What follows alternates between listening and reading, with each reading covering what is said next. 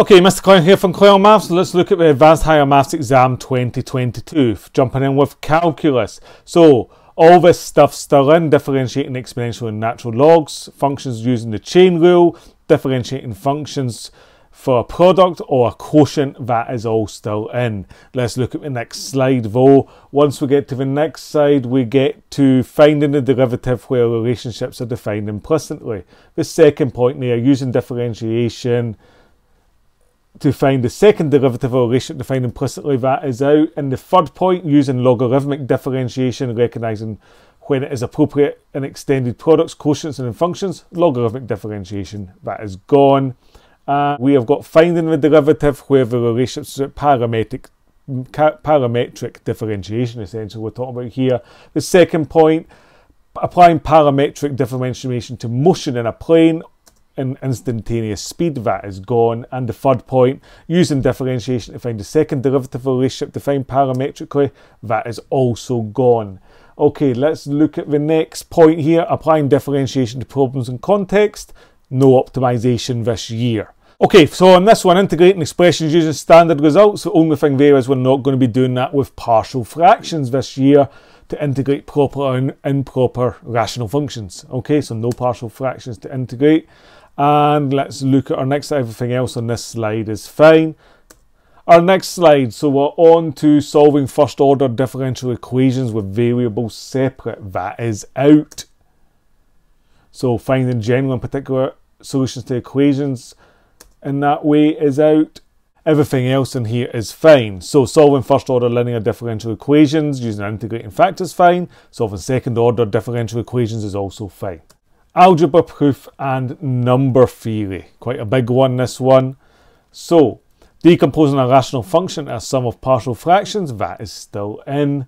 But finding asymptotes to graphs, well, that's been out for a while now. That is gone. So anything to do with vertical or non-vertical asymptotes is gone. And on our next slide, all this stuff has already been out. Sketching graphs and sketching graphs of functions is not in the course this year. Moving on to expanding expressions with the binomial theorem. This is quite a big one. You will not have to use the general term in it for a binomial expansion to find a specific term in an expression. That point is gone. If you look at the second and third big bullet point, determining the sum to infinity of a geometric series is gone. Determining the condition for a geometric series to converge, known when it converges, that is also gone. The summation formula, that is gone completely. So knowing and using sums of certain series is gone. The Maclaurin expansion is fine though, so that is still in the Maclaurin series. Okay, moving on to our proof. So you won't have to use the symbols their existence for all, that is gone. And you won't also have to negate a statement, that is also out this year looking into our next point using indirect and direct proof in straightforward examples. You will not have to prove a statement by contradiction, that is out. You will not have to use proof for by contra, contrapositive proofs. However, the third point is still in, using direct proof in straightforward examples. Proof by induction is still fine. Let's move on to Euclid's algorithm to find the greatest common divisor. The first point's fine, you'll still have to find the greatest common divisor of two positive integers. Uh, the second point is fine, expressing the greatest common divisor as a linear combination of the two. However, the third and fourth point are out. You won't have to express anything in bases other than 10, and you won't have to know the fundamental theorem of arithmetic, or use it. Okay, matrices, vectors, and complex numbers quite a lot out of this this year. Starting off with matrices, Gaussian elimination to solve a system of 3 by 3 linear equations. So the first point is fine. Find a solution to a system of equations ax equals b, where a is a 3 by 3 matrix. Use an augmenting matrix and solve it in the normal way. That is fine. But you will not have to show that a system of equation has no solutions. In other words, they're inconsistent. That is out. You will not have to do anything to do with redundancy. That is out and you will not have to compare the solutions of related systems to find two unknowns and recognize ill conditioning. You won't have to state anything to do with ill conditioned. So the only thing I'll have to do is solve a 3 by 3 system of equations with Gaussian elimination. Hooray! Matrix algebra, a huge one here using matrix algebra, quite a tricky topic. A lot of this stuff is completely gone. In fact, the only thing I can see here at the top point, performing matrix operations, addition, subtraction, multiplication by a scalar, and multiplication of matrices is in.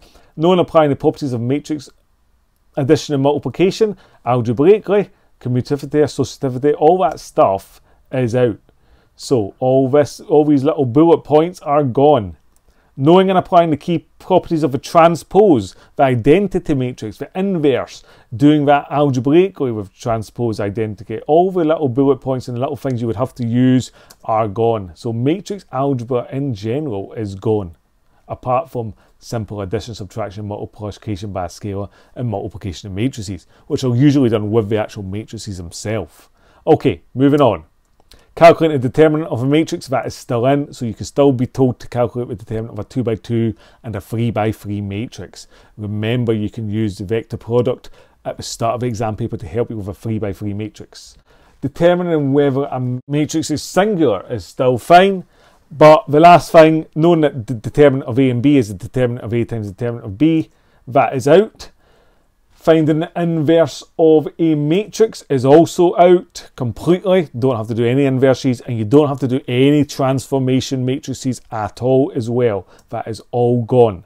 So most of matrices is actually out. Vectors was not vectors this year at all, so let's just cross that out and move on. Okay, complex numbers. Finding the square root is the one thing on the top that is out. Oh yes, and you won't have to solve equations using complex numbers. You won't have to do anything on an Argand diagram. You won't have to know the definition of the modulus or argument of a complex number. You won't have to convert a complex number to Cartesian form. But you do have to know De Moivre's theorem of integer and fractional indices. And you do know how have to apply De Moivre's theorem.